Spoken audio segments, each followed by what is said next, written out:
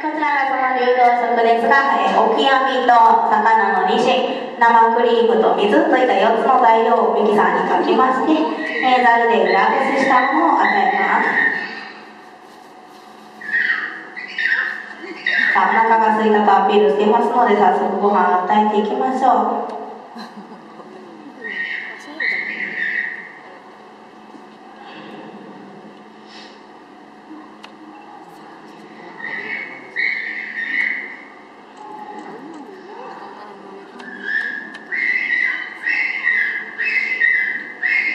もう少し小さなうちは、えお腹が空いていたので夢中でカテーテルを飲み込んで、え流動食も一気に食べていたのですが、え最近、えこのカテーテルを嫌がるようになってきました。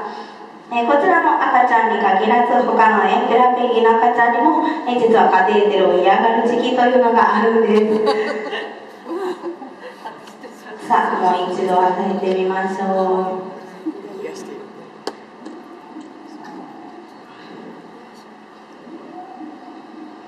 小さなうちは流動食だけなのですが、だんだと体が大きくなってきますと、魚の黄身を与えて固形物を食べる練習をしていくんです。さあ、カテーテルが嫌なようですので、まず切り身を与えてみましょう。こちらの切り身は先ほどの流動食にも使われておりました魚のニシンの切り身。さあ今は流動宗教より切り身の方が好きなのか切り身の方が素直に食べてくれました。